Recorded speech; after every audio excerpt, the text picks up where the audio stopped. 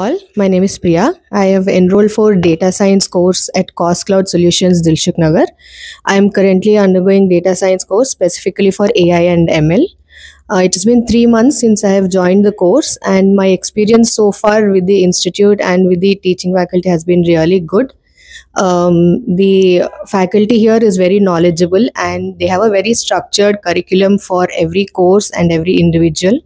Uh, I would like to specifically thank uh, Ranjit sir, who is a teaching faculty who is teaching us data science. He has a very interactive teaching skill which makes the class more relatable and understandable. Since I am from finance background, uh, I was really skeptical for choosing data science but the support and guidance that he has provided me from day one has helped me and given me confidence to take up the course.